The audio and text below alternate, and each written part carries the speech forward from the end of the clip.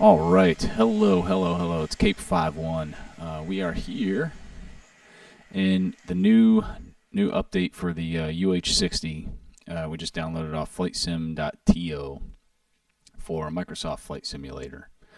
Uh, so I am playing this on a MacBook Pro, so forgive the uh, poor graphics.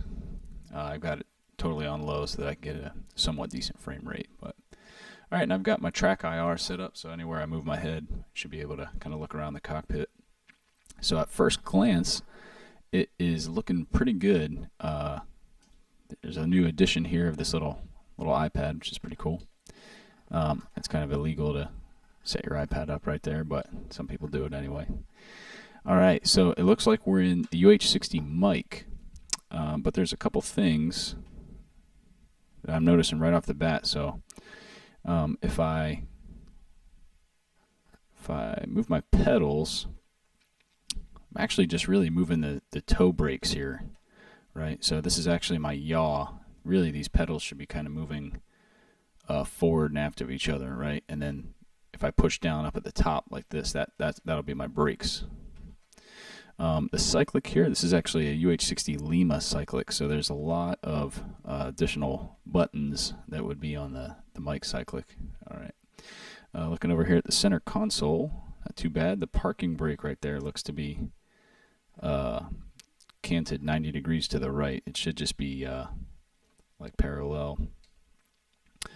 Um, let's see, everything else is looking decent here. My MFDs, I got my flight director over here. Not too bad. All right, let's take a look up top.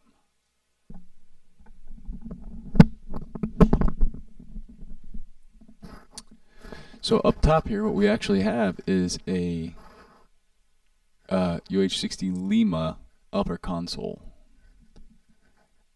So you'll see right over here, it says backup hydraulic pump switch and hydraulic leak test switch. If we look over here, we have those. We have those right here. Those were moved from the Lima to the Mike. So we got two different cockpits going on at once here. It's all good. All right, now typically what we would do to start this thing, turn the battery switches. There should be two of them, but I got one because it's a Lima. Turn the battery switch on, and then this HUD comes up. Now HUD will never have during the day. Um, there might be some swoopy versions of the Blackhawk I'm just not tracking, but uh, we wouldn't wouldn't really have this during the day. This is a, a nighttime thing. Kind of goes on to the end of your night vision goggles. You get your little HUD. Okay, once we do that, we can go fuel pump switch APU. Uh, sorry, air source heat switch APU should already be on. Uh, we'd have our generators on over here. Sorry, it's really awkward trying to right, so main generators are on. Uh, bat switch is on. The hydraulic uh, backup pump should go to auto, but that's really if we want to just go through all the pre-flight tests, we're not going to worry about that, so we'll just leave it off. Plus, I don't really know which one I should turn on or if they're uh, operational this time. Oh yeah, make sure air source heat switch is in APU, or else we won't be able to crank our engines. All right, fuel pump. All right, cool. Uh, looks like that's as good as it's going to get. Oh yeah, this this should be on open. Oh, and uh, the emergency fire T handle should always be forward. We're never going to have those back unless we're actually killing an engine. What these do is basically just tells the fire bottles which engine we want to extinguish if there's a if there's a fire. So this thing will light up if there's a fire in that engine. Just pull it back. It'll pull off the fuel system selector with it. So uh, reading in their little comments, the uh, the actual uh, APU isn't functioning right now, but typically we would go uh, fuel pump switch APU boost, which should be forward. I think we have this. Uh, actually, I can't remember. I, it's been a while since I've flown a Lima. Uh, and then APU control switch on. but they said that it's not currently functioning, so no big deal. when we hit our battery switch, we did get our MFDs to come on. Um, and we, we wouldn't be able to get these until we turned our APU generator on. So let's say we'll just assume our APU is on, and then right here should be the APU generator switch. It looks like it's already on. Okay. So I have PFD, and then let's go to, let's check out our ECAS page. Okay, so it changed it. Yeah, it looks like it changed all four of them. So hopefully we'll be able to get these to work independently. Yeah, it looks like it's changing them all. And now display, that's cool. TAC map. Okay, looks like TAC map isn't available yet. All right, I guess I'll go up ECAS page while I start. So the starter button should be right up here on top of the engine power control lever, and there's also a little switch for the engine to pull the uh, the PCL off, but we're still working on that. All right, so we're gonna go to crossfeed first flight of the day, but they say to go to direct, so that's fine. We'll just go to direct. That means that uh, if we have if we put this in crossfeed, then this engine right here is the number two engine would start sucking from the number one fuel cell. But direct is fine. I mean, we we can start that way. It'll be no problem. Okay, so I'm going to control E. And then roll these to idle. Let's see. All right. Get the blades start spinning. Cool. So right here, I would get a engine starter engaged caution and I'd be looking for uh, rise in NG. I'd be looking for my TGT to be below. Uh, I don't, don't want to give out too many details here, but I'd also be looking for my uh, engine oil pressure, TGT, and NP to start up. So it looks like I've got a positive rise in those. Yeah, this is it. It looks pretty cool. It's not quite accurate, but we're getting there. Let's see if this number two engine's going to start here. Okay, number one engine NP is already up at like 90. Let's see if I have to hit Control E again.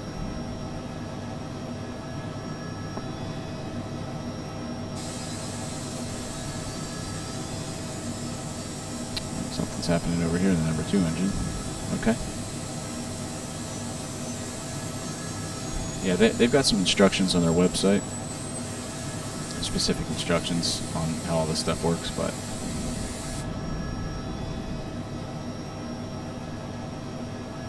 able to get it working. All right.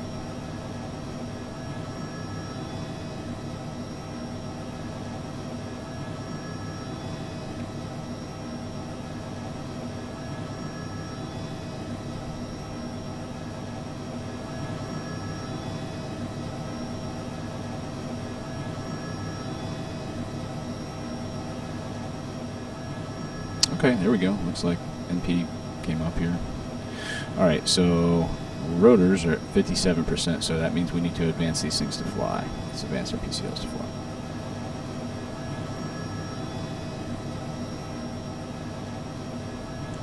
That should bring your rotors up. All right, rotors are now at 100%, uh, or close to it good on fuel. Alright, so at this point, I do my before taxi check. I'd release my parking brake. Alright, so that, really, we release it just by pressing on the toe brakes, and then that thing would just kind of pop down. So that is the correct orientation. It just goes up and down. There's no need to twist it or anything like that. Um, Alright, and then right to the left of that, so I'll put my, my cursor on over here. Right here would be my tail wheel switch unlock button. And we basically start taxiing forward. So I'm going to give it a little looks like my ECAS page is good here. Switch over to PFD so I give it some forward cyclic and then just a little bit of collective. And we're taxiing. And now I can use my pedals to steer myself.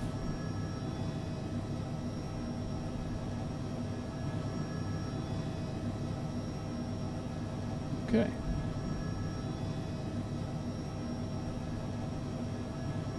Oh, alright. I guess we're taking off.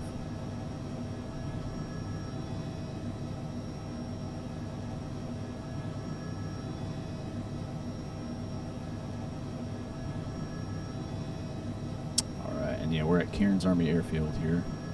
So you see some other Blackhawks over here. This is going to be our medevac birds for Flatiron.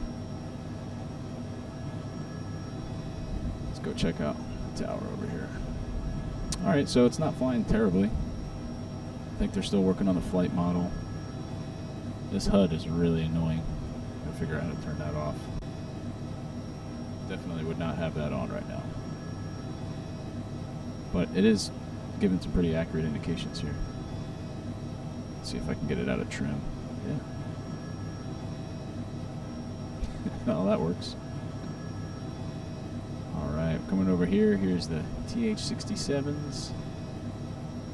And there's the Lakotas. Again, forgive me for having this on low graphics, but that's all I got right now. There's the tower.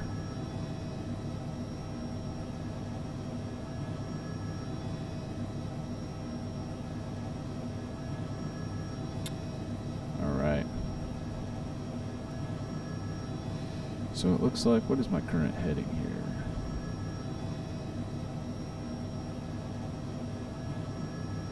Okay, so here's runway 36, which means 06 should be this way. Runway 06 is off to the left, should be Fort Rucker.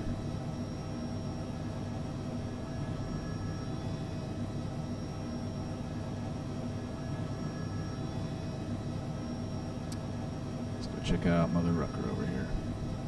So right here, I'm doing 80 knots, and I have this big red, my airspeed indicator is all red right now. That would be the VNE arc, velocity never exceed. And right now at 80 knots, the stabilator should be programmed up to about zero. So let's check it out what it looks like in the back.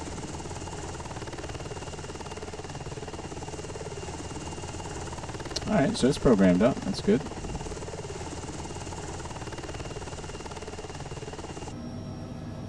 The other thing I noticed is that when we're hovering, um, we should be about five degrees nose up. All right, um, so the Blackhawk actually hovers with a nose up attitude. The whole rotor system is basically canted three degrees forward. And that way, when you're hovering, your nose high, the tail should kind of just be dragging on the ground. And as you transition into forward flight, um, we hit about 100 knots, then we should be pretty much straight.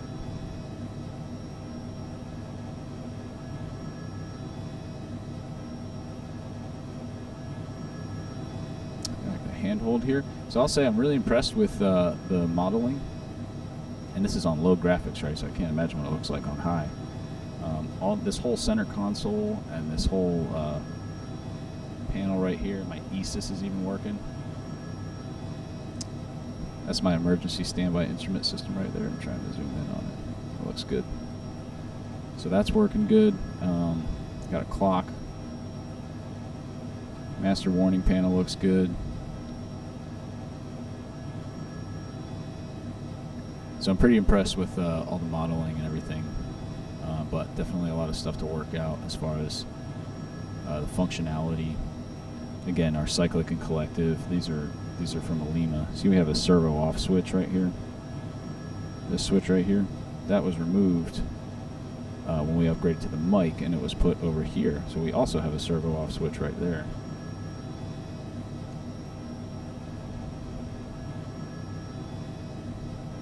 So it should be one or the other. Back when we had, uh, when it was just the, uh, when it was a Lima, we had steam gauges over here instead of these uh, multifunction displays. Um, it looks like the flight director isn't functional yet. Let's see.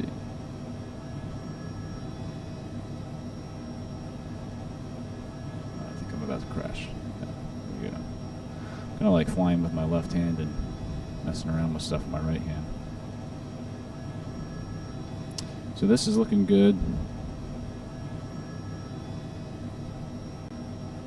Oh yeah, I'm about to eat shit.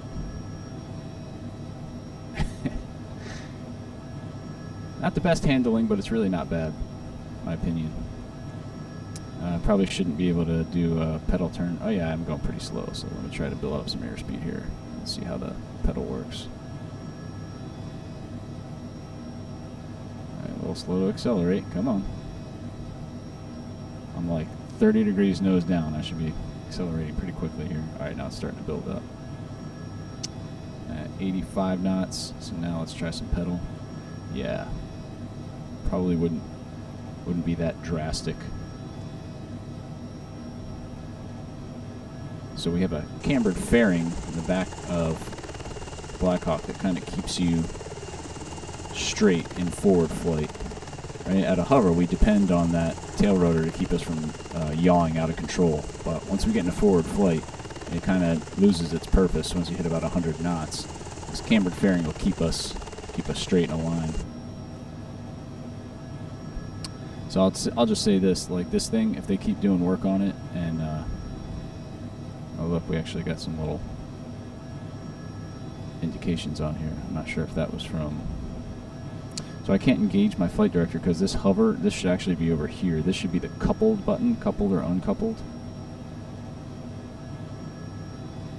Looks like I can yeah, change my heading bug, but I'm not getting anything on the HSI right now. Let's see if we can do airspeed hold. So it's going to be a really monumental task to get this thing fully functional. I think this is a really great start. Um, but given all the little indications we would get on this MFD, I mean, it gets very complex, right? And we're not even getting into the FMS over here, which it looks like they just kind of have like a, a basic little display. Looks like it's not working right now. I don't think any of the buttons work. Oh, crap. And I'm dead. Okay, so I got a little distracted there, but um, to the developers, I think you guys are off to a great start. Definitely a lot of stuff to uh, to kind of polish up there. Um, probably want to just take a second look at, at the upper console and the actual flight controls themselves. If we are in fact going to do a, a Mike model, uh, a lot of that stuff has changed. Um, and then obviously it would be super cool to be able to use the APU to start it up and all that and um, get the, the, correct indications on the ECAS page. I think another thing that's going to be really big is if you can get all the MFDs to work independently. So if you can change one, have one, you know, like the outboard on the pilot side here to be on the PFD and inboard to be on ECAS or attack map or however you want to sort that out. And really, I mean, you could just put like the VFR map or, or whatever you want on there. It doesn't I wouldn't say it has to be exactly according to the real the real thing, but um, yeah, definitely definitely a great start and really impressive modeling all around. But all right, well that'll do it for this video. We'll uh, have something cool for you on the next uh, next update.